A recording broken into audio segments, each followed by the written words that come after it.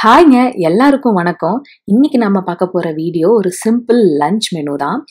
பீக்கங்காய் தக்காளி கடையல் கீரை பொரியல் பாவக்காய் ஃப்ரை. இதுதான் இன்னைக்கு நாம பார்க்க போற ரெசிபி நம்ம வீடியோவை சப்ஸ்கிரைப் பண்ணாம பார்க்குறவங்க சப்ஸ்கிரைப் பண்ணிட்டு பாருங்க.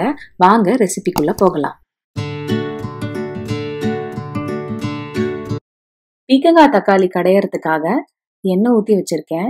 இது நம்ம க கடைய தான் போகிறோம் விசில்லாம் விட போகிறதில்ல என்கிட்ட பாத்திரம் இல்லாததுனால நான் குக்கரில் வச்சுருக்கேன்.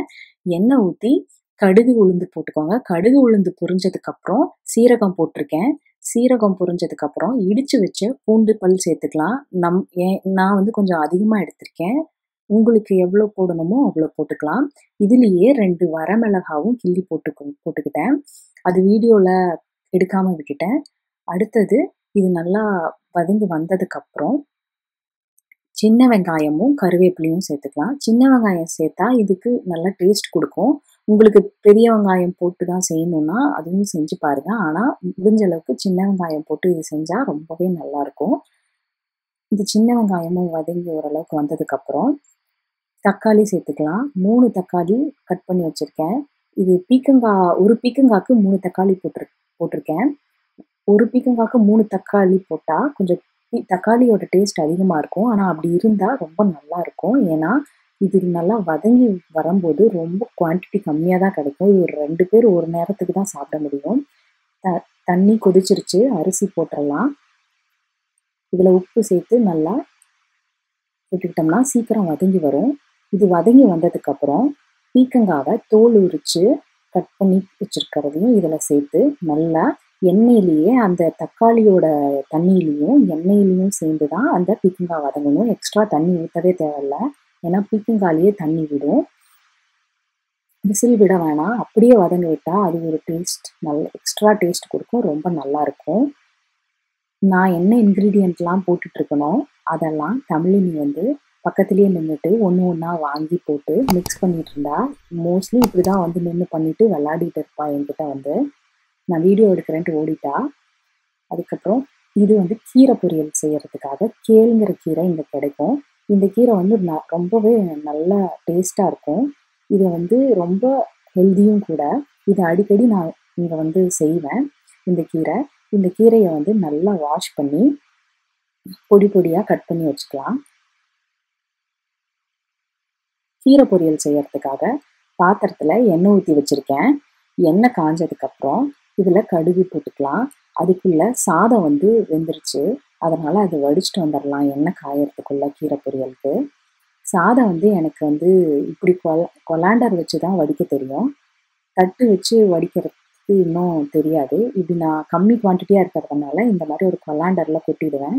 அந்த கஞ்சியெல்லாம் வடிஞ்சதுக்கப்புறம் அதே பாத்திரத்தில் எடுத்து கொட்டிட்டு ஆஃப் பண்ண ஸ்டவ்வில் கொஞ்ச நேரம் மூடி வச்சுருந்தோம்னா நல்லா ஆகிடும் இப்போ வந்து எண்ணெய் காஞ்சிருச்சு கீரை பொரியலுக்கு. இதில் கடுகும் உளுந்து சீரகம் இதெல்லாம் சேர்த்துக்கலாம். கீரை பொரியலுக்கு ஒரு ரெண்டு பல் பூண்டை வந்து நல்லா பொடி பொடியாக கட் பண்ணி போட்டோம்னா இது வந்து கீரை டைஜஷன் ஆகிறதுக்கு ஹெல்ப் பண்ணும்.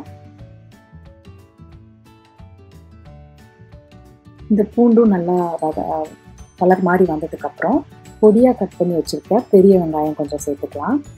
இந்த வெங்காயமும் வதங்கி வந்ததுக்கப்புறம் இப்போது நான் வடித்து வச்ச சாதத்தை பாத்திரத்தில் கொட்டி வச்சு அதே பாத்திரத்தில் கொட்டி வச்சு ஓரங்கள்லாம் நல்லா எடுத்து விட்டுட்டு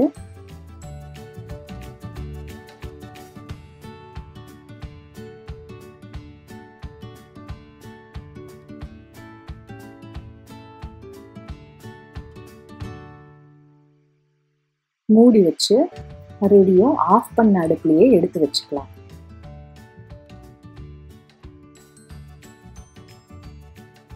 இப்போ நல்லா வதங்கி வந்துருச்சு. இதில் வந்து கீரையை ஆட் பண்ணிக்கலாம்.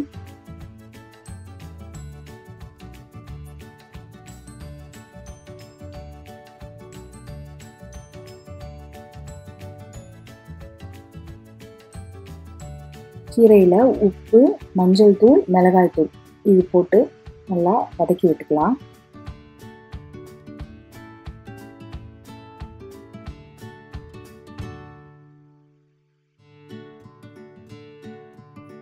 இப்போ பீக்கங்காவும் நல்லா வதங்கி வந்துருச்சு. இது ஒரு மத்து வச்சு நல்லா கடைஞ்சிக்கலாம்.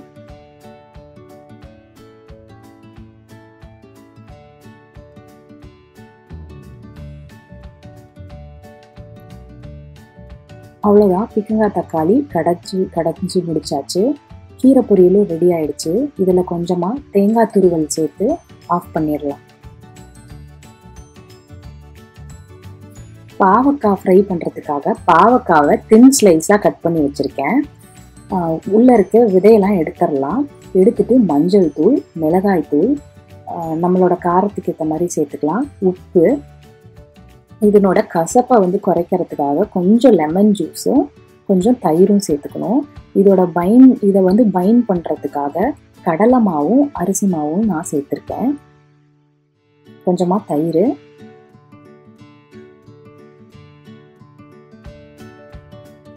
கடலை மாவு ஒரு ஒன்றரை ஸ்பூன் சேர்த்துக்கோங்க.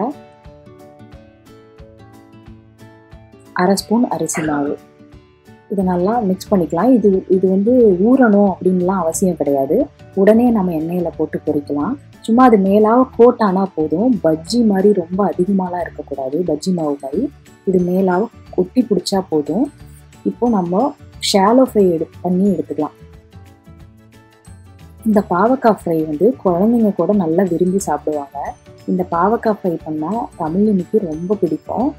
இது இந்த மாதிரி நீங்களும் வீட்டில் ட்ரை பண்ணி உங்கள் குழந்தைங்களுக்கு கொடுத்து பாருங்க. இந்த பாவக்காய் ஃப்ரை வந்து கசப்பு அவ்வளோக்கு தெரியாது.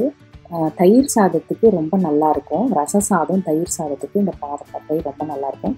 கொஞ்சமாக எண்ணெய் ஊற்றி பொறிச்சு ஷாலோ ஷாலோ ஃப்ரை பண்ணாவே போதும். நீங்கள் நிறைய குவான்டிட்டி பண்ணுறீங்க அப்படின்னா மட்டும் கொஞ்சம் நிறைய எண்ணெய் ஊற்றி பொறிச்சு எடுத்துக்கலாம்.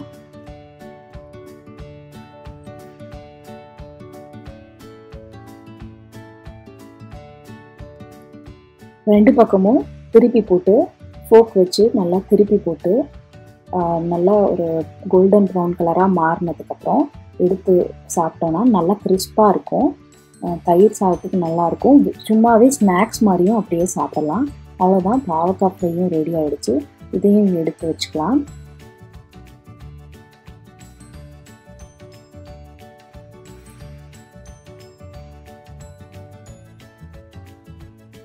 இது பாப்பாவுக்கு ரொம்ப பிடிக்கும். எப்பவுமே விரும்பி சாப்பிடுவா. நீங்களும் உங்கள் குழந்தைங்களுக்கு செஞ்சு கொடுங்க. கண்டிப்பாக விரும்பி சாப்பிடுவாங்க. இன்னைக்கு லஞ்ச் வடித்த சாதம் பீக்கங்காய் தக்காளி கடையல் கேழ்கீரை பொரியல் ரசம் தயிர் அப்புறம் பாவக்காய் ஃப்ரை. அவ்வளோதாங்க இந்த வீடியோ இதோட முடிய போகுது. நான் போடுற வீடியோஸ் எல்லாம் உங்களுக்கு பிடிச்சிருந்ததுன்னா ப்ளீஸ் மறக்காமல் சப்ஸ்கிரைப் பண்ணிட்டு பாருங்கள் அது மட்டும் இல்லாமல் பக்கத்தில் இருக்க பெல் பட்டனையும் கிளிக் பண்ணிட்டு ஆளுங்கிற ஆப்ஷனையும் கிளிக் பண்ணி வச்சுக்கோங்க. நன்றி வணக்கம்.